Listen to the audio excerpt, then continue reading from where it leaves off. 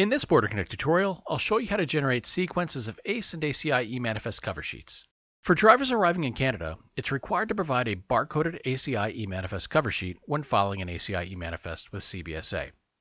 Although when processing an ACE or ACI eManifest in Border Connect, you can print, fax, or even email the driver's cover sheet to them from the eManifest, this feature of generating cover sheets allows users to generate sequences of cover sheets ahead of time and even give specific sequences to specific drivers, bypassing the problem of trying to get the cover sheets to the drivers while on the road. To learn more about generating eManifest cover sheets, visit BorderConnect Support Wiki at wiki.borderconnect.com. To start, once you're logged in, hover over the Account menu option on the top right and click ACE ACI Cover Sheets. Then you'll be brought to the ACE and ACI cover sheet listing page where you can view all of your previous cover sheet sequences entered in BorderConnect.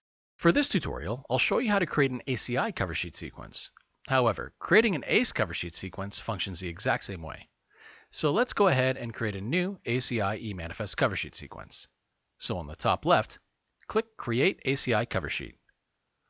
Once on the Add ACI Cover Sheet page from the top, select the carrier code you'd like to create a trip sequence for, but in most cases it would just stay as the default. Next, enter the trip number range, which is the first unique trip number you'd like to start the sequence at, and below, where you'd like the ending of this sequence to finish.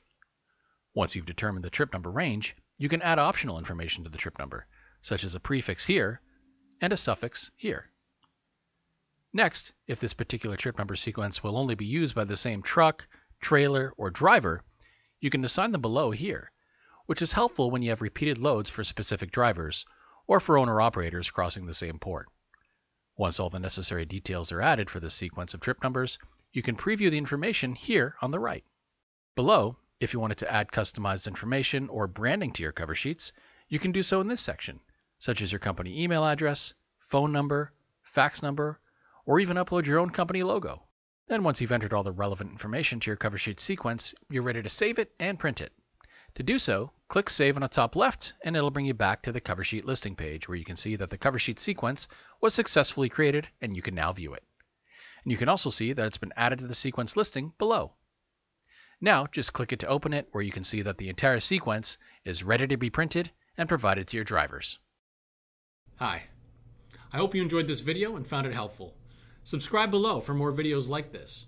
Or sign up to Border Connect for a free 45-day trial using special promo code EASY45. Thanks for watching.